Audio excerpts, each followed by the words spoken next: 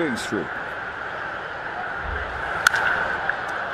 That might do it though. Way back, right center field, and gone. A two-run shot for Cruz. Seven to one Rangers. Number 11 for Nelly. Well, Sipp's come in and served up a couple of fastballs that the big guys have jumped all over. Josh for a three-run homer.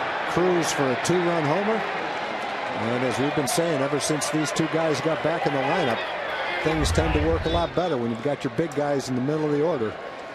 And I'd say it's pretty pretty obvious here in the seventh inning with a three-run shot and now a two-run shot